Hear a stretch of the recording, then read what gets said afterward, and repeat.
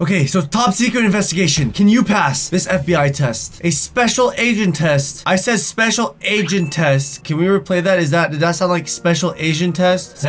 A special agent test. I'm not, that would be racist. I'm special agent test. Yo, did that sound like special agent test? Are you guys ready? Here on reaction time. Follow me on Instagram at Tal Fishman. Tag me and show me your scores uh, if you guys can pass. I'm not sure if I'm gonna pass. Could I be a good detective? Can you imagine me as a detective or an FBI agent? Yes. I'm a detective, baby. Well, you know what? That means I can pass this test. Let's see it. It says an FBI special agent is one of the hardest jobs to get into. According to statistics, less than 5% of the applicants are accepted. Wow. That means I'm gonna get accepted, right?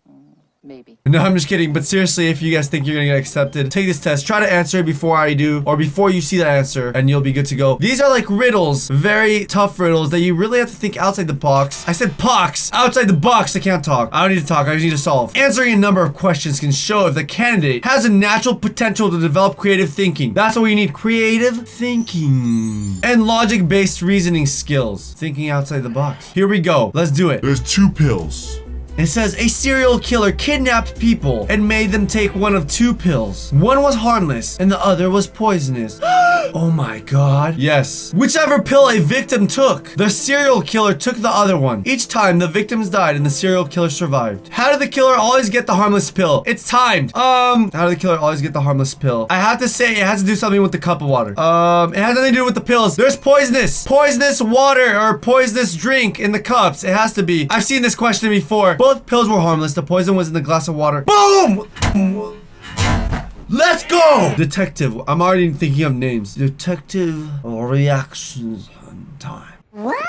Okay, here we go. We got the next one. These are beverages. What's the question? A man and a woman went to a restaurant for dinner. While they were waiting for the main dish, she ordered five drinks with ice because it was very hot. The woman drank four of them all at once. She drank all four drinks right here, while the man only drank one. After a while, the man became ill and died. The doctor said that all the drinks were poisoned. How? How? Maybe she's resistant. Why was the woman still alive? Are you guys ready? How come the man died and she was alive? Um, it had to do something with the ice. I remember this question. I forgot. No! Uh, it's gonna be time up. No, no, no, no. They only gave me like 10 seconds for this. Not fair. What's the answer? Okay, I didn't get this one. I, I think it has to do something with the ice. Oh, wait, the poison was in the ice. Since the woman had her drinks quickly, the ice didn't have time to melt.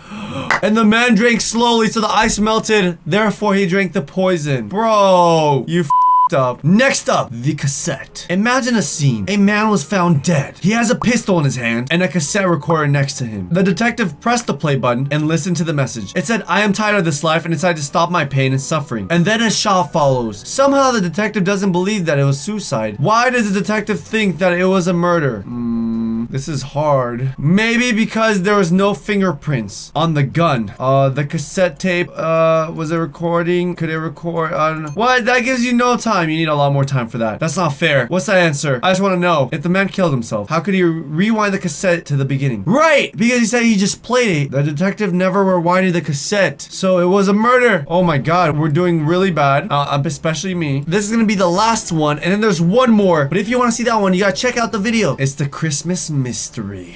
Ho ho ho ho. A detective was on duty during the Christmas holidays. Jingle bells. The morning of December 25th, he went on a call. He rang the doorbell and a minute later, a sleepy house owner opened it. The guy was sleepy and a house owner. Cool. Detective said, your neighbor says that yesterday on Christmas Eve, he came to your place for a party. And while he was here, you broke into his house and stole some valuable items. And the owner of the home replied, that's not true. Our family celebrated Christmas Eve at our friend's place. We barely had time to decorate our Christmas tree. The detective says, no worries. It's quite obvious for me that your neighbor is a liar. How did the detective know? Oh, well, originally when I looked at the photo, the Christmas tree wasn't even plugged in when I looked at this photo. But um, let me read again. 12 seconds later. Guys, I just figured it out. I went back and reread that and I noticed he said there was barely any time for us to decorate our Christmas tree. And if you guys look at the Christmas tree, you can actually see a missing light. That means he was not lying. The detective saw the missing light and believed the guy. That is my assumption. Let's see if I get it right. It has to be right because this is the last question for me. Come on. You got this. You got this. Let's see. Okay, what does it say? Answer.